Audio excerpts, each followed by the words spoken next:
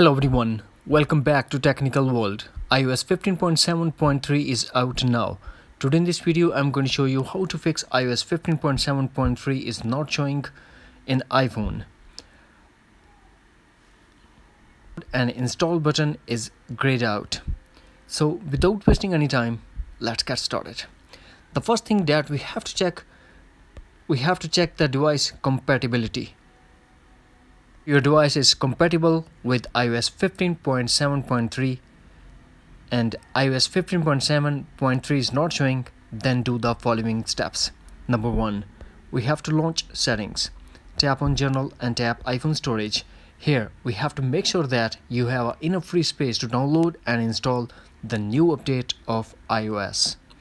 If you don't have enough space, then make some space.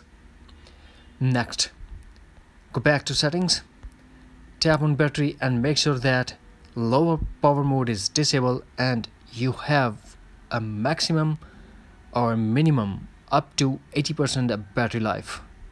Go back to settings, tap on general. Here we have to tap on device VPN and device management. Now check the list. Is there is any iOS profile? Then delete that profile.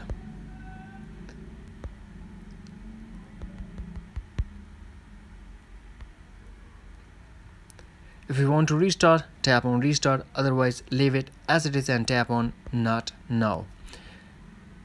Now we are going to check the update of iOS, general, software update, and we have to wait for a few seconds. Here we go. iOS 15.7.3 is now available for your iPhone by doing these steps. That's it. Hopefully friends, you found this video helpful so please do like, share and subscribe. Thanks for watching. Take care. Bye bye.